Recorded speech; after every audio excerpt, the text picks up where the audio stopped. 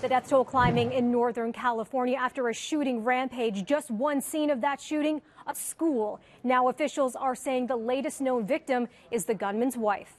Part of the investigation, we were looking for his wife. Um, couldn't find her yesterday. We located her dead body uh, concealed under the floor of the residence last night. We believe that's probably what started this whole event. Officials now believe Kevin Janson Neal killed his wife before fatally shooting four others.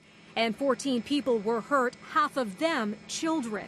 The rampage carried out yesterday at a number of locations, including an elementary school.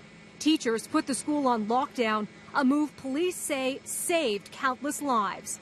So far, there's no word on a motive. The gunman, who was out on bail for assault at the time, was shot dead by police. Hours after the California shooting, Donald Trump tweeted his condolences, but apparently about the wrong mass shooting. Overnight, the president posted, May God be with the people of Sutherland Springs, Texas. The FBI and law enforcement has arrived. The now deleted tweet referenced the November 5th church shooting, a massacre he had already tweeted about.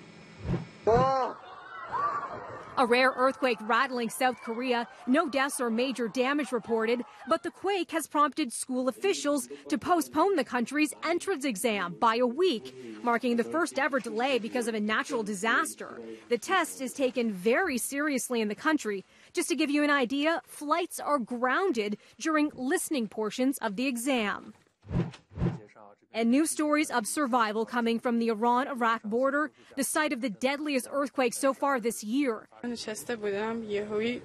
This woman saying she was trapped beneath rubble for 16 hours before she was pulled to safety. She was watching TV at home when the earth started to shake.